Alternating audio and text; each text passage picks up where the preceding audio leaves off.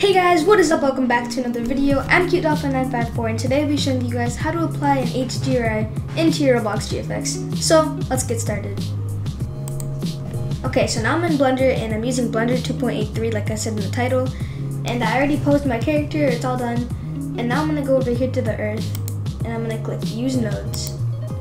Then I'm gonna go over here where it says color and click that dot and go to environment texture. Then you're gonna click open and you're gonna need an HDRI. So you're gonna go to Google or whatever you use and search up HDRI Haven. So HDRIHaven.com. Then go over here to HDRIs and you can look for one. A really common one that everybody loves is Kiara, Kiara Dawn or something. This is the one. So you can download it and click the 4K one and then you can get it and it'll be with you. So I already have it downloaded and I'm gonna open it so I'm gonna go to my downloads and look for Kiara when done. Here it is. Boom. It's gonna take a second and you're not gonna see it because you're still on texture mode. So go to material mode and you can kind of see how it looks on your character. And then if you go to rendered mode, you can see how it looks everywhere. So I'm gonna go to Eevee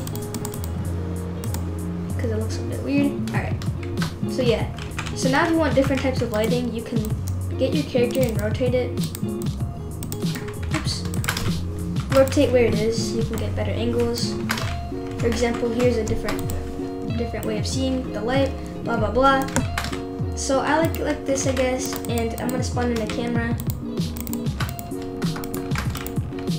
And then I'll usually render, but before you render, you want to go to the camera settings, go to film, and make sure you click transparent so you're not gonna see the background unless you want that for some reason.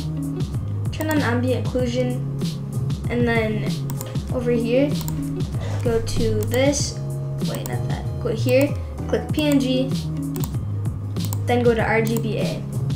So now you're good to render and I'm gonna go ahead and do that. So render image, and I'm on Eevee like I said, boom.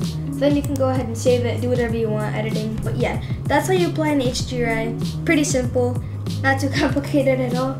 And yeah, see you in the next video. Make sure you're subscribed and liking my videos. It means a lot, so thank you very much for all the support recently. See you next time. Peace out.